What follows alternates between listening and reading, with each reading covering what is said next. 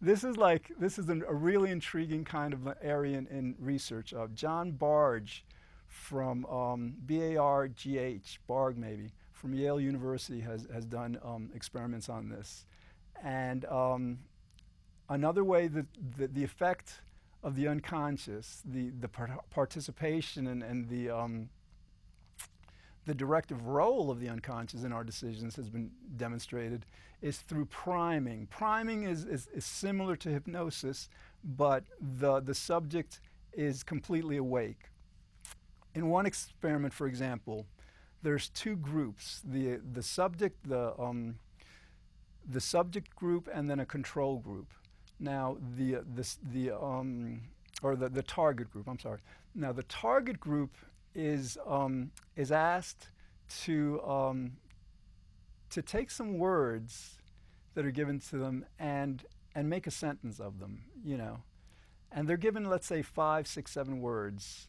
And so, like, in, in this experiment, the target group is given the words old, um, bingo, gray, um, cane, you know, words, maybe not old, because I don't think it's that direct, but words that connote being old, connote the idea, the concept of elderly, okay?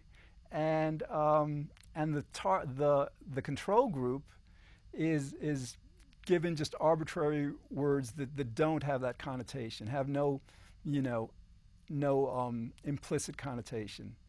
Okay, so then what happens is like um, the subjects complete the test, and and you know they think the, the experiment is over, but it's not. Okay, because then part of the experiment is they're observed walking from the experimental area to the elevator. This is in like a high rise. Um, you know, to leave the building. They think that, you know, th- that everything's done.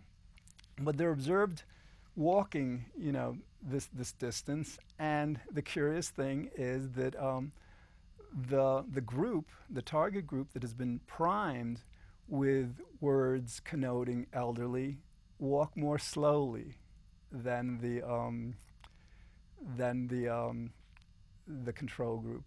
Okay, so now naturally what, what that tells you is like you have you have the group, the target group, walking. They're consciously, you know, making their decision to walk to the elevator, you know, but their unconscious mind is participating in that decision and, and how they do it, you know.